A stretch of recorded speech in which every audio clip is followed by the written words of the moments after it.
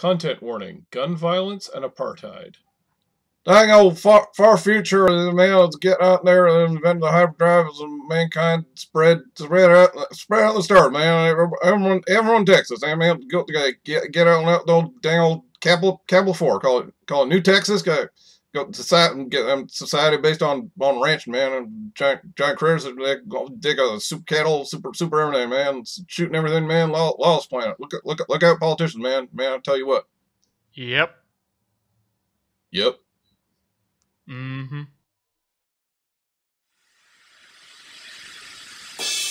Action, excitement, horror, romance, thrills and chills, swords and sorcery, rockets and ray guns, a dizzying panoply of the strange and impossible from the darkest depths of the human imagination.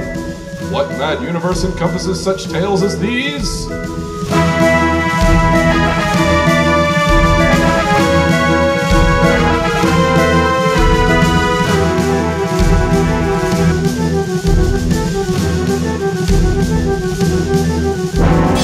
Join us as we bear witness to the sweeping sprawl of all the history that never was and all the futures that could yet be. It's adventure as you like it on What what Mad Universe!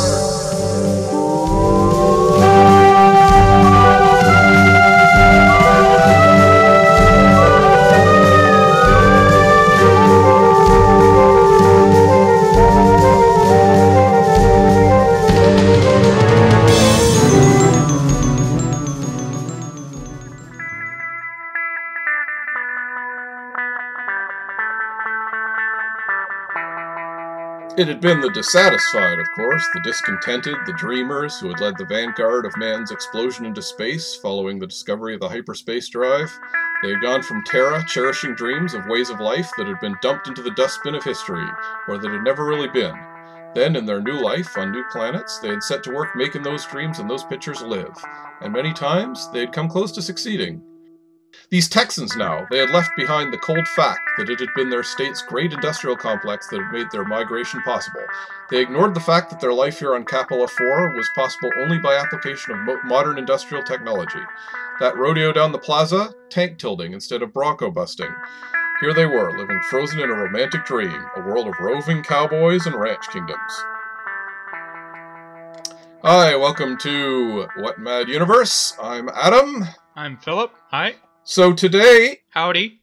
yeah, so today we're talking about uh, a bit of a weird little uh, curlicue called um, uh, either Lone Star Planet or A Planet for Texans. It might even have other names, actually. I'm not even sure about. Um, Uh, I've only come across those two, but it's possible. yeah, and it was published. It was it's a it's quite a short novel. Uh, it was published, I believe, uh, back in the back in the 50s. It's They used- 57. Yeah, 57 it was published. Uh, and it was published as a double uh, novel. Like they used to sometimes publish novels as uh, you know, like short novels uh, two to a two to a book by the same publisher. Uh, so it was published with an Andre Norton novel as well. Um, but uh, yeah, this is uh, by uh, uh, A Planet for Texans by uh, H. H. Beam Piper and John J. McGuire. John J. McGuire. Yeah, there you go. Who are not prolific authors as far as we can tell, but uh, they seem to have a bit out there. And Well, This is a- Piper does anyway. Yeah, I guess Piper has a bit of a uh, of the two. when you look at Wikipedia, uh, Piper has a uh, has a s- s- decent, decently substantial Wikipedia page, and uh, McGuire does not. So that may tell you something there.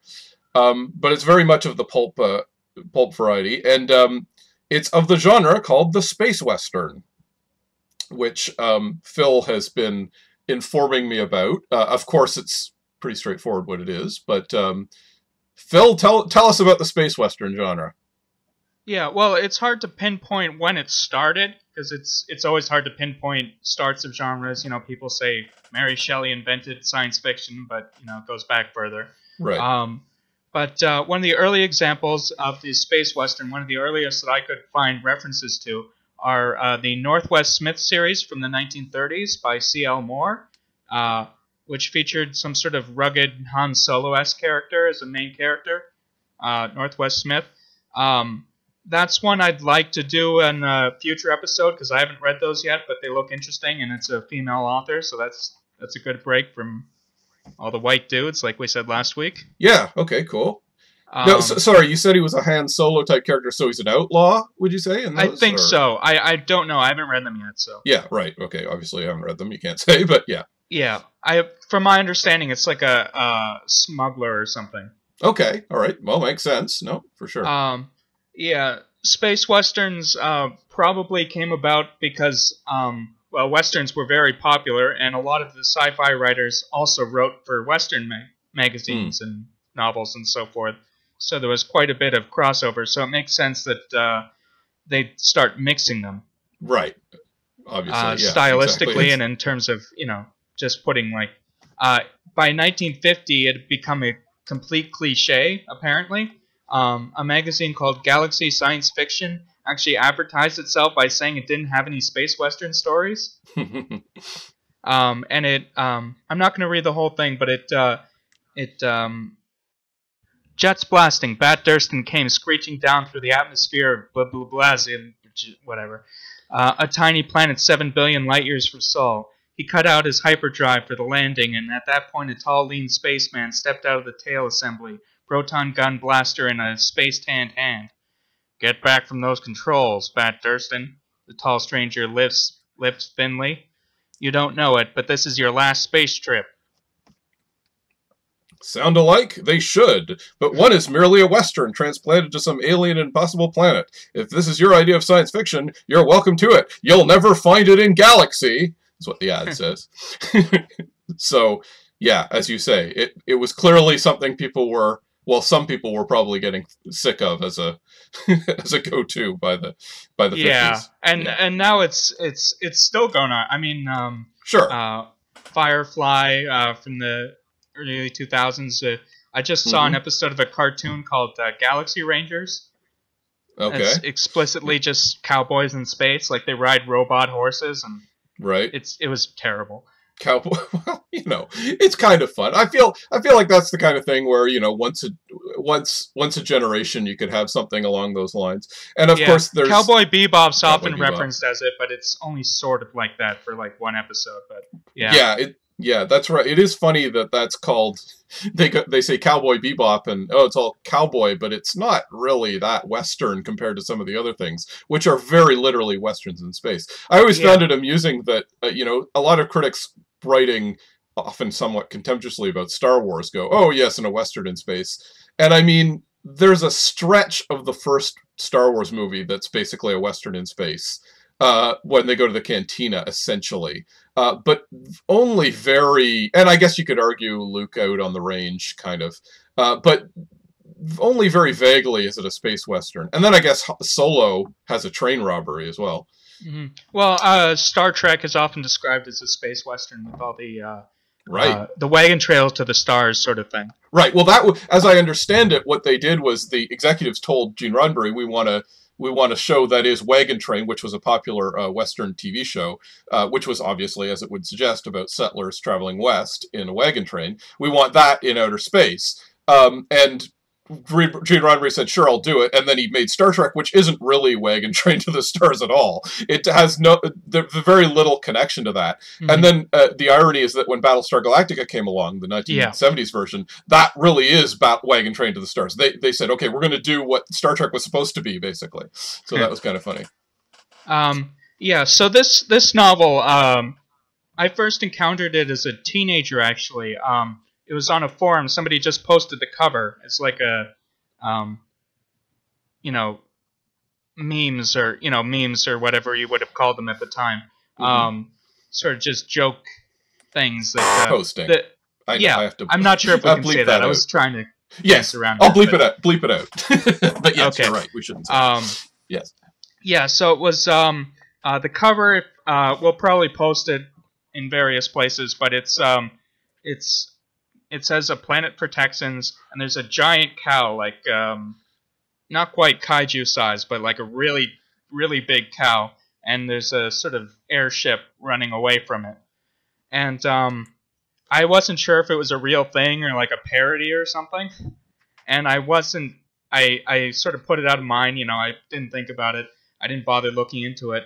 But uh, years, decade, like a decade later, I was browsing on uh, LibriVox, which has uh, public domain audiobooks uh, read by volunteers. I highly recommend that service. Um, it's free and everything. Um, I was browsing the science fiction section and I came across a book called Lone Star Planet that seemed to have the same sort of feel to it. And then I found out it's the same book, just published under a different name. Mm-hmm. So I read it and uh, I was surprised. It's not. It's not quite like advertised. Uh, it, it No. sort of the way it looks is like a or you describe it you know a, a planet te- settled by texans and there's giant cows you'd think it's an adventure story but it's not really it's yeah, it's a legal it's drama. a political drama with some courtroom drama and Yeah. Yeah, it's interesting. space opera And- and- elements in the background And and as you say, it's almost because you almost wonder if because that was such a cliche at that point, uh, the the space western that they could then do a legal drama that was set within the space western genre.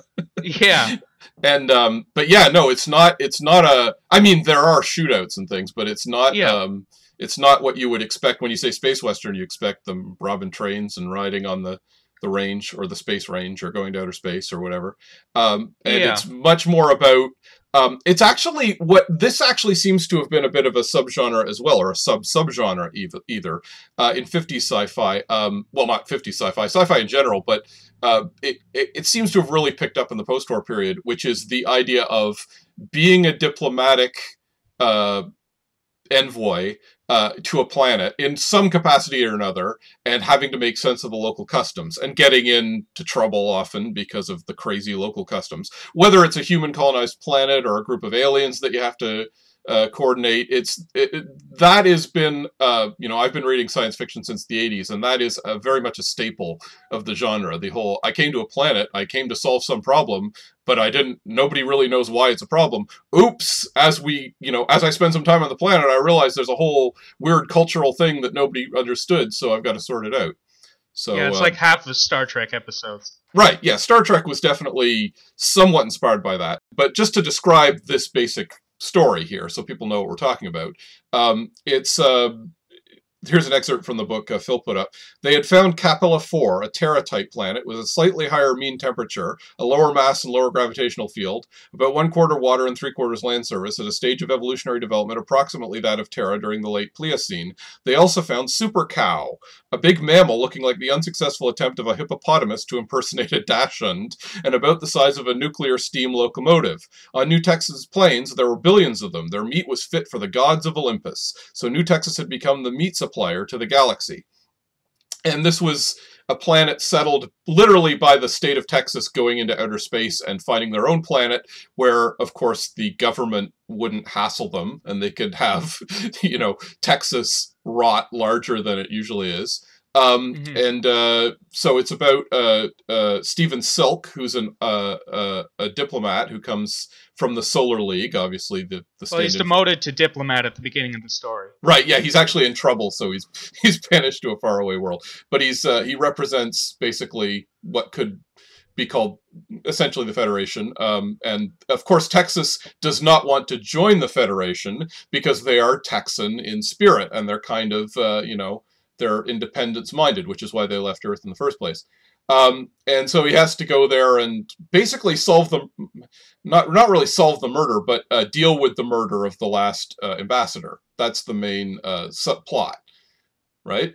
Yeah, yeah, and um, uh, we should get to this. The uh, New Texas government is based on the idea that you're allowed to assassinate politicians if they go too far. Right.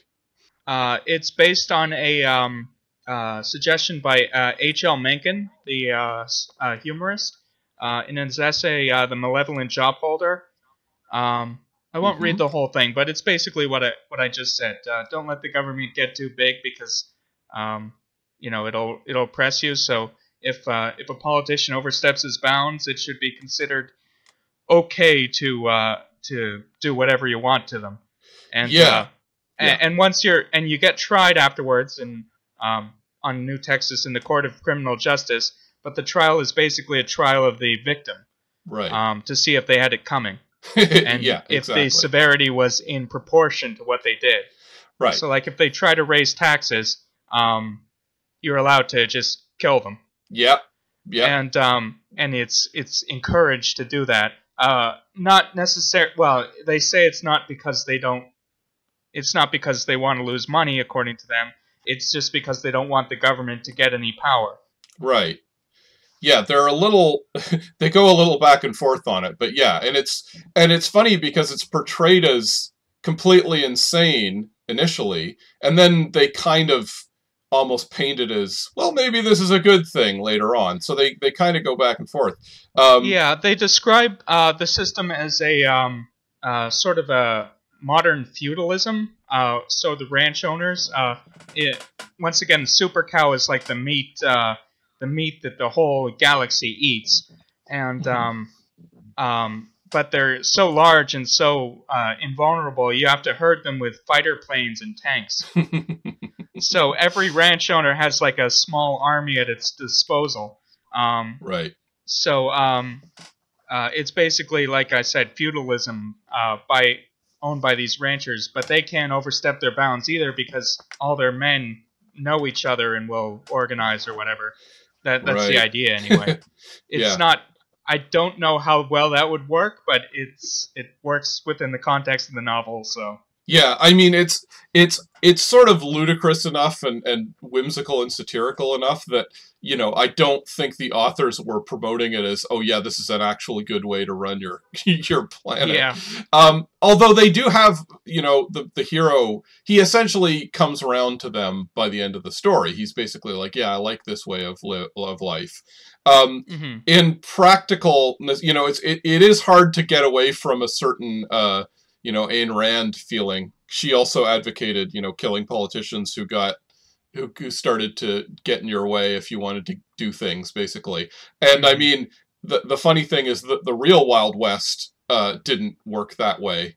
you know, it was it, its proposal as if that's how the Wild West is going to work. But I mean, they were famously well, they weren't famous because we've kind of erased it from history. But they, the ranch owners and the big railroad barons, uh, did a lot of union crushing and making sure their their you know their workers wouldn't rise up against them so they could live like oligarchs. So unfortunately, I don't think that would work in any way shape or form in real life. But this is again this is kind of meant to be a bit ridiculous. It's not necessarily meant to be. Yeah, yeah, It's it has a very whimsical tone. right. And Um, and it's uh you know it's like I I mean obviously just the whole it- well that, as i say that's as you say like because space western was a genre at that point um you know the inherent ridiculousness of it maybe might have been muted a bit at the time because people had read so many cowboys in outer space stories at that point that maybe they didn't yeah, it, it, maybe they were willing to take it a little more seriously than we might be reading it, but uh, but it's it's it's a it's it's a often humorous kind of whimsical book. So I don't you know the the authors clearly weren't taking it too seriously either. So hmm So it, it does it does it's an interesting book. I really enjoyed it. I was uh, surprised by a lot of it. There's the idea that um, the Texans are recreating a way of life that n- might never have really existed. right, yeah, Um, they uh, they brought the Alamo brick by brick and rebuilt it on New Texas. yeah, yeah. Um, He al- he And, almost gets uh, into trouble for saying, "Hey, look at that! You made a perfect replica of the Alamo," and they're like, "Don't say that! That's the actual Alamo." you know. Yeah, Yeah. and um, uh, oh, I can't remember, but there, there's a funny bit where he's given the national uniform that he wants that he's uh, told to wear, and um, he says uh, denim trousers that for some obscure reason are called Levi's. Yeah, yeah, yeah. it's Um, all, and, and even the passage I read at the beginning there, um, he the next line I left it out, but he talks about how his uh, quote bodyguard, who may be trying to kill him, um, was giving him a, you know, he said he didn't like. Uh, he didn't like reading about other people's reporting on Texas because it sort of shattered the idea that oh we've perfectly replicated what Texas was like in the the 19th century because it, they hadn't like Yeah. very explicitly it's an attempt to recreate the past rather than an actual correct version of the past right Yeah, and like you said in the reading, they um, it their whole way of life relies on the mechanization they've managed to um, get, but their their way of life involves pretending that that doesn't exist. right exactly which is a nice a nice point to make, I think there. so that was Yeah. that that was kind of good. Um, so you know he he becomes sympathetic to them ultimately, but yeah, there's there's enough sort of well, we're not going to talk about this as a as a utopian society by any means. Um, Yeah, there's also a nice bit of satire in one part where um, there's an ambassador from a South African nationalist planet, mhm, um, who, um, and it says that they were a frustrated lot because they had gone to space to practice apartheid, apartheid, right. Uh, but they settled on a planet where there was no intelligent race to be superior to. yeah. I just thought that was amusing. Yeah, no, it's it's clearly coming from a uh, you know a a, a, a mid-century liberal viewpoint, I guess would be the Mhm. general politics, uh, which is of course the same thing that ended up birthing Star Trek and the Twilight Zone and everything like that. I think. Um, it's, Although, it- I mean, this is in the 50s. Apartheid went on for quite a bit after that, so Oh, yeah, of course. interesting.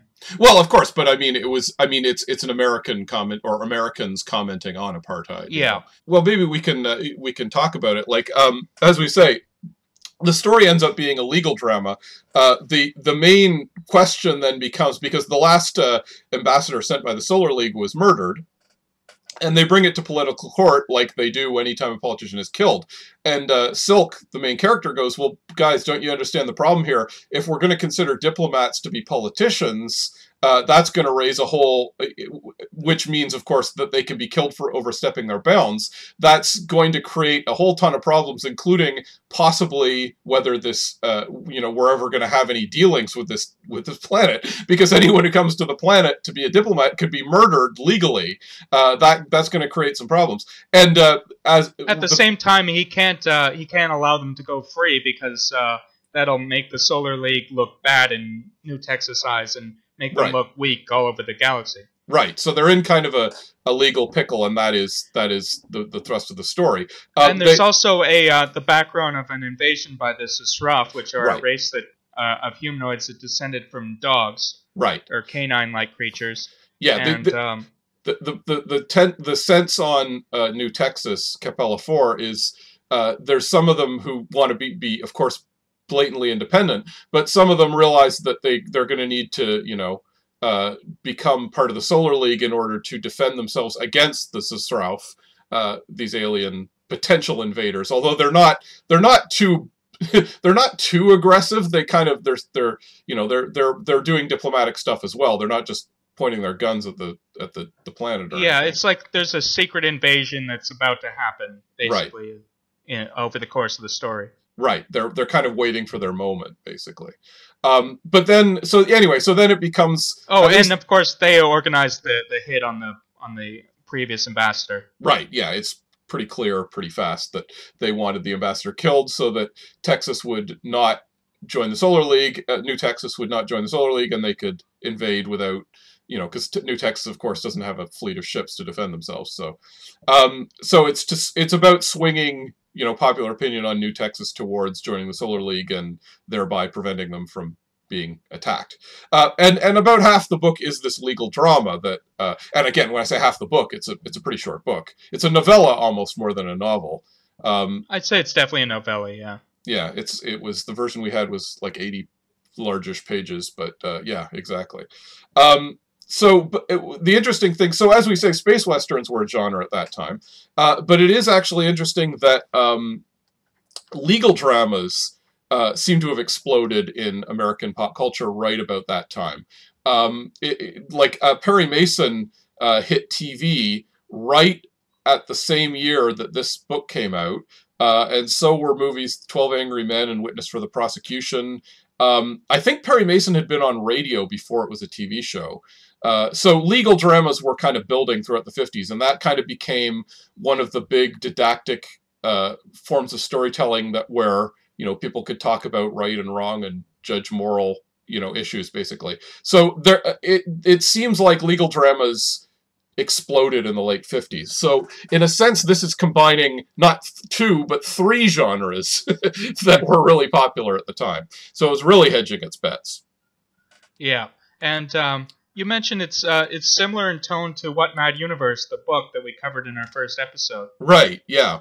It's I mean, of, um, what I mean is is that it, it um it's similar. Like it in to, what Mad Universe is a bit more of a straight comedy in some ways. Well, it's not, a, except it's not a straight comedy, but it's a little bit more wacky, I would say, than this book. Mhm. Uh, even though this book is a little bit wacky as well. But it, there's just a sense to me that if you'd read pulp sci-fi in the 20s and 30s and before in the 19th century, it would have been treated somewhat like straight-facedly, as it were. Uh, whereas in this we're getting to this post-war era and it feels like there's a bit more sophistication and wit and detachment from the source material and kind of uh, kind of deconstructing it a little bit uh, that I feels like it's unique to the 50s wouldn't you say Uh, yeah. I mean, What Mad Universe was 49, but it's practically the 50s. right I'm d- well like I said post-war years basically World War Yeah. II uh, we're getting to the era of you know film noir being popular you know biblical spectaculars at the film at the at the cinema TV starting to take off like right as this uh, this book was published it was sort of we were really getting to the era of TV that kind of stuff um, Mhm. it, it, there's a there's a shift in the approach towards the audience i would say. Like i i would say pre world war ii again not without i don't know personally like a huge overview of this of of the the genre. I don't want to say definitively but i feel like you wouldn't get this kind of winking cleverness and whimsy to it in quite the same way you would in 20s and 30s 20s and 30s i think it was a little bit more um you know a little bit more Straight laced. straight laced, but also it was it was for mass audience, and it was kind of like, well, they wouldn't understand like what the the premise of what Mad Universe, you know, if you haven't listened to our first show, which you really should, is uh, about a guy falling into a world that is exactly like the pulp magazines, which he because he's an ed- a pulp editor, and it's exactly like the sci-fi magazines he edits, and that kind of you know uh, commentary on the genre, like meta commentary. I can't imagine that being in the World War II era because I think it was seen more as no, we're just grinding out content uh, for you know the the and the pulps were for the mass audience. They weren't they were for the lower classes, I guess, if that's fair to say. Uh, does that is that unreasonable? Do you think I? Um, me to say that? Yeah, I think you can make that argument. Um, I'm not sure, but Yeah. Whereas with the World War II, after World War II, you suddenly see the the rise of the middle class, and you get this kind of middle brow audience, which might be a little more amenable to this. I think that's what we're seeing uh, here. I think it might also be uh, the specialization of uh, like the sci-fi fan as a thing. right? Yeah, that's true too. Like it's like Um, fandom started popping up around this time, so it's it's like uh, there's a there's Mm-hmm. a type of reader that will specifically want this type of material. Right, right. Well, I, I mean, I, the science fiction fans existed going back to the 19th century, I'd say for sure. I, Uh, yeah, but it's not. It wasn't as uh, like a I guess nerdy subculture as much as it became. Right. Yeah. No. Absolutely. Um, I always like to pin the actual rise of the sci-fi fan, uh, particularly to the late '60s and '70s. Um, like that's where what we think of as nerd fandom culture really came to start. But it's true that there were definitely like sci-fi fans in the 40s and 50s. Uh, John W. Campbell and amazing, or sorry, astounding, um, were definitely. Um, uh, they, they, th he had a, a strong following in that era, and so you're right. That was kind of the first generation of uh, real sci-fi fans, as opposed to just everyone reading sci-fi. You know, um, from what I can Mhm. understand.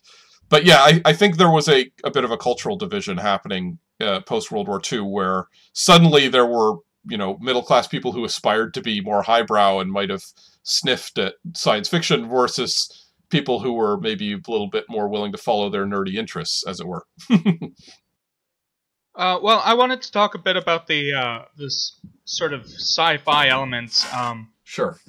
In specific. Say we already discussed the super cows, which um, um, on the cover they're just regular-looking cows, but really big. But uh, in the book, like uh, you read earlier, they're sort of um, a mix between a dachshund and a um, hippopotamus, but the size of a, a locomotive. So that's that's interesting. Um, A nuclear also just- steam locomotive, yeah. whatever that is. I don't know. Um, I guess a fancy future thing. Um, oh, by the way, this story takes place approximately 200 years in the future. Mm-hmm. Um, and there seems to be uh, some sort of I mean, the the Solar League is sort of like the Federation, but a bit more, bit less egalitarian. Yeah, maybe. I mean, we don't get a lot of, you know, it Not a lot, but I get the feeling they're they're a little more. I don't know. Um, bureaucratic. Sure. yeah, and uh, there, there's uh, there's a slight suggestion that at one time they were more, because they gave the z'Srauff the uh, hyperdrive, you know, because they were just being generous, but uh, they don't do that anymore. Oh yeah, I didn't mean to suggest that they were like as utopian as Star Trek. Just the idea that it was a, you know, a gang of worlds who had all who are operating together, uh, not necessarily without the usual political and bureaucratic struggles that you would get from that. so I just thought it was interesting that they sort of. It seems that the this the Solar League um, tried to be the uh, Star Trek Federation for a bit, but it just didn't go their way. So they uh, mhm. anyway. Um, so New Texas also has, in addition to super cows, uh, um, they have uh, super yams that they make super bourbon out of. Um, it it briefly mentions super mastodons as an animal that gets hunted, yeah, and um, there's Which- super doves which are used for shooting practice. yeah. Uh, I mean, there's a line that says uh, everything on New Texas was super something. Yeah, if the super cows were the size of like tanks or larger, I can't imagine what the super mastodons are like. They must be, Yeah, you know, walk land whales basically. So, yeah. I'm imagining like Godzilla size or something. Yeah, exactly. Yeah. What what do they hunt them with again? What do they use for Uh, those? Like it was uh, like a fancy futuristic rifle from the z'Srauff planets, I think. right, right. Yeah. Um, but yeah, the, I mean, it's obviously the everything's bigger in Texas thing, but Mhm. put on, yeah, that's to a ridiculous, whimsical level. Yeah, that's the the cliche of Texas as emerged in pop culture, especially around this period, was just the joke that you know uh, Texans always they bragged nonstop, uh, and especially about how huge everything was, how huge Texas was, and how huge cows were, and how huge. There's a, there's actually the joke about the Texan who went to to uh, Australia, and you know they he'd say, you know, oh hey look, here are cows, and he's like, shoot, boy, we got dogs bigger than that back in Texas, and he showed them his you know his uh, sheep, and he said, shoot, boy, we got pigs bigger than that back in Texas, and then he saw some kangaroos jumping by and he said, Well, you got some mighty fine grasshoppers out here though. anyway. So there's that. But yeah, that's that's the the the as it were the Henny Youngman Borscht Belt comedian or the you know Catskills Yeah. type joke about Texas is that's the that's the cliche. Yeah, but it, it's sort of it. Like I said, it's sort of a satirical Mhm. feeling to this book. Yeah, it's Um, it's they knew it, and that and like I say, that's the thing. The fact that this was, uh, you know, a, as we all know, pulp writers were kind of by the by the early 20th century, they were really grinding out the stories, you know, to get you know a few cents a word or whatever the, the pay rate was at that particular time. Um, so they would often really grind them out really fast. Uh, but so it is funny that this is probably something along the same lines. It was, oh, I get paid by the word. I get, I crank this out and and fill up my uh, my portfolio and get paid. But um, there's more of a uh, instead of just yeah, let's write to a formula. It's more let's kind of wink at the formula, and you had to do Yeah. something a little more clever than just do another as as as that galaxy ad that we quoted earlier said. You know, just transpose the the western into outer space, basically. Mm-hmm. Um. Uh. Yeah. You seem to uncover that. Uh, I haven't read any of H. Beam Piper's other stuff, but uh, you said he wrote one about space Vikings. Yeah, he did. Uh, it sounds like this guy. Yeah, he, he he. It sounds like he liked the idea of his using history and transposing it to outer space. Which I mean, he was hardly the first one to do that. But uh, he apparently wrote a series about the space Viking, um, or rather, he wrote a novel called The Space Viking, which may have been turned into a series. I'm actually a little vague on this because apparently other people picked up and wrote his characters uh, which is a little odd. Uh, John F. Carr was a guy who kept writing space Viking stories uh, as the as it as it continued. Um, I I have no idea if he actually went. Oh, I love uh, I love this obscure author so much that I'm going to continue his series, or if it was just a case of something that you know, he gave his blessing to. There's only one Well, space Viking Lone Star story. Planet is in the public domain for some reason. It uh, they didn't renew the copyright, so it's um, Hmm. it's free to use for anything. Yeah, that that makes a certain amount of sense uh, because you know there's there a lot of this stuff just nobody bothered to keep the ownership. Uh, you know, public domain. The length can extend pretty far if people want to renew the copyright, but if they don't care about renewing the copyright, uh, it does sound like things from the mid 50s are no longer, uh, if, if nobody owned them. Like, I, I was actually researching the Nedor comics line uh, which went up to the, the mid 50s. And it sounds like Nedor went out, out of business in the 50s, I think. Um, and it sounds like nobody bothered to pick up their intellectual property. So it is still, you know, and I, and I believe it was uh, 25 years later. It would become public domain if nobody bothered to renew it, and nobody did. So this is probably in the same uh, in Yeah. the same uh, general vicinity as that.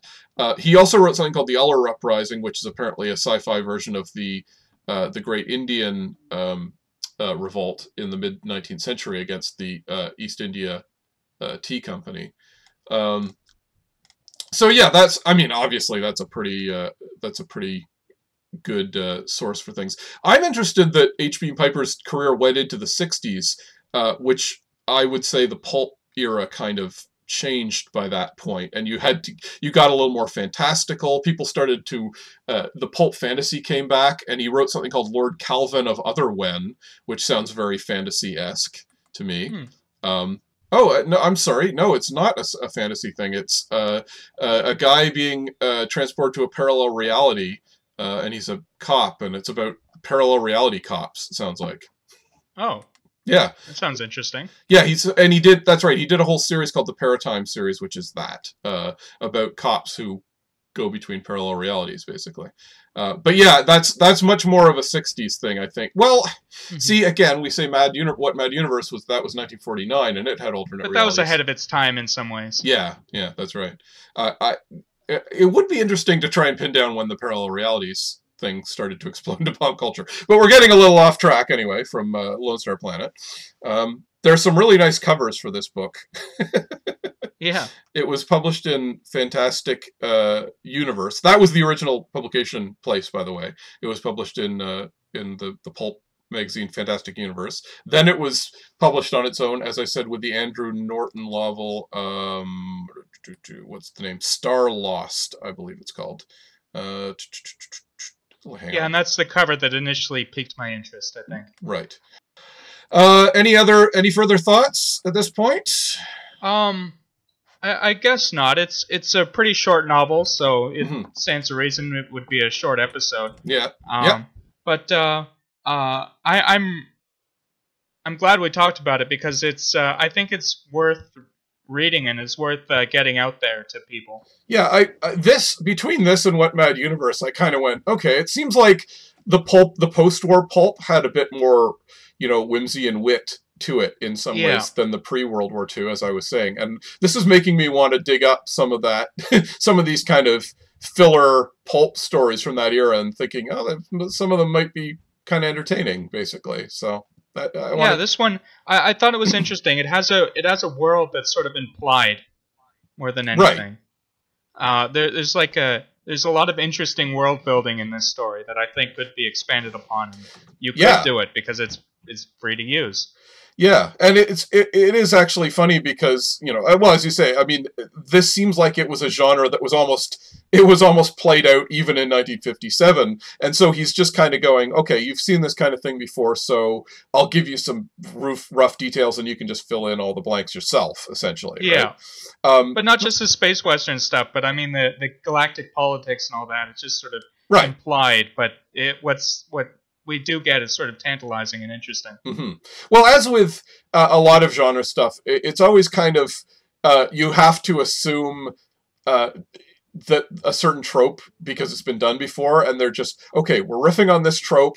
It has some differences which will illuminate, will you know, will will elucidate what the the small differences are. But you can assume up to this point that there's a, basically an intergalactic UN, for instance, called the Solar League. Even you know, Star Trek's Federation when it first came out was not a very original idea. That was that was a common idea that yeah, basically the UN in outer space would be a thing. Um, so so and then if there's differences, you can kind of the, the author will usually tell you about the differences, whereas the similarities you can just sort of assume, right? So Yeah. But yeah, Oh, uh, we didn't really discuss the ending. Um, right, where um, he gets uh, he actually gets the um, the people who killed the previous ambassador off because they're because it wasn't a politician, so it should have never been tried in this court. But um, right. uh, so but and everybody was mad at him because he let them go free, but then he just shoots them. Right. Well, it's literally like, um, for whatever I can't remember quite the legal maneuvering, but it's like you know, be, obviously there's a lot of people gunning each other. There's a lot of frontier justice in this in this town, and you know, and it literally becomes the judge realizing that he's going to clear these guys. He's going to bring his gavel gavel down, and then a gunfight is going to erupt in the courtroom as soon as he hits the gavel. So he's like, "We're court is out of session until nine o'clock tomorrow. Hit the floor, bang!" and then there's a shootout, basically, which is kind of hilarious. And um, yeah. uh, Stephen Silk has has the edge both because he was raised on a planet with lots of violence, so he had to use it. He had to be trained in firearms, hmm but also because he has uh, special holsters that sort of eject the gun into his hands. Right, yeah. He's got the, the techno spring guns that come out into him. So of course he's the fast and that's and that's basically how he ends up winning. He's sort of there's a girl in the story who he was who he was getting close to and then she was getting disgusted with some of the political stuff he was doing and he ends up winning her and and the the, the people of New Texans uh, love because he's such a, a good shooter basically that's Yeah. that, that's what wins him over to their side uh, ultimately he's such a he's such a a fast shooter, which is of course the classic Western trope as well. Yeah, So, shall we wrap it up? yeah, it was a fun one. Uh, do you uh, do you recommend it? I definitely. Oh yeah, yeah. No, it's. Fun. I mean, if you, if it, it's, it's a very, it's a very throwaway uh, book, but yeah, it, this, as I said, this is making me think that this era of pulp is uh, probably very, per, very fun and worth uh, checking out. So, I'll be Yeah. delving into Uh, that. one more. last thing um, about the book. Uh, there's a character named Wilbur Whately, Mhm. um, who's just who's the first uh, person who shot a politician in the story that we're introduced to, who gets away with it. Um, and uh, that's it's slightly spelled differently, but there's a Wilbur Whately in Lovecraft. He's the uh, Hmm. half-human son of Yog-Sothoth in the Dunwich Horror, so that's interesting. I don't. I, I guess it would have to be a deliberate reference because Really? that's not I a don't common so. name. Wilbur Yeah, Whately. I don't think that might have. I mean, even if it was deliberate, it's not. There's no. There's no reason to link it to Lovecraft specifically. Like, if there's nothing no, about but I him thi- I don't know. that's Lovecraft. Eh, Like, I, when when you see things like that, you kind of go, okay, if the author's being clever, it's because there's some you know nod to the author that he's homaging, or there's something about the story that makes you uh, nod to it. But in this case, I don't see any connection to Lovecraft, except maybe maybe if you read his entire uh, you know bibliography, he'd have a ton of Lovecraft references just thrown in Um, there. I, I don't know. Like I said, I, I just thought it was kind of odd Yeah. rereading it because I completely forgot about that when I Yeah. uh, read it the first time. Well, and people on this planet as well, they they get names like there's they talk to one guy named David Crockett. Uh, right. Johnson or whatever, and you know, there's people that there's a you know, there's a Sam Houston Phillips or something like that. Oh no, there's a Sam Houston continent. yeah, sorry, yes, the continents are the the Jim Bowie and Sam Co- uh, Houston continents, who are of course the heroes of the Alamo. Um, Yeah. but uh, they had uh, yeah, they, they they they all have you know Texan names basically, exaggeratedly the same way you if you gave someone the name you know Oh yeah, there's a character. His last name is Maverick. Right. Yeah, that's yeah. I don't know who the historical maverick was, if there was any historical maverick, but that's certainly. But it's a very Texan sort of name. yeah. I mean, it was a. We know that I know there was a TV show called Maverick, but uh, I think it goes back further than that. Yeah. Anyway, okay. uh, Um, shall I wrap it up, or do you have anything else? Uh, yeah, well, um, remember that uh, we both have Patreons, and you can listen to episodes a week early on there, and we also have other things? Mhm. comics related and art related and things. Yep. Um, Yeah. Go to our uh, uh, you Patreon plug links. your site specifically? Yeah. Well, if you if yeah, you can go to our Patreon's uh, links, which are uh, at the si- at the website neversleepsnetwork dot slash what dash mad dash universe. Um, and if you're not already listening to it here, there, uh, the links are there. Uh, Phil has a comic called the Apex Society. Um, I have a I have a website, Phantasmic Tales with a PH, phantasmictales.com, uh, and that has links to all my comics that are there. And uh, Apex, other than Apex Society, Phil, was there anything you wanted to plug? Uh, not immediately. I, I will later, but Right. yeah. And uh, I guess we'll mention this now. We are uh, hoping we're, we're we're sort of in the early planning stages, but we'd like we're thinking we'll run a Kickstarter at some point over the summer. Uh, we'd like this show to go weekly, and uh, to do that, we. Uh, we've been doing it a bit guerrilla style, but we uh, we like to host it in uh, you know uh, Alex Ross's studio, uh, which does uh, require a certain amount of payment. So we think we might be running a Kickstarter in another month or so. So if you enjoy the show, we'd really love for you guys to get on board with that. Alternately, as you as I say, you could join our Patreon that we have. Um, we'll we'll fill you in more about that in the upcoming weeks to come. Well, buckaroos and owl hoots, I reckon it's time to saddle up and blow this planet. We are Two Gun Adam Prosser and Deadeye Phil Rice. Theme song was by the singing cowboy Jack Feerick, and we want to wish a special thanks to Alex Yeehaw Ross, the, the orneriest audio engineer this side of the Orion Arm. As we ride off into the Betelgeusean sunset, we wish happy trails to you and yours.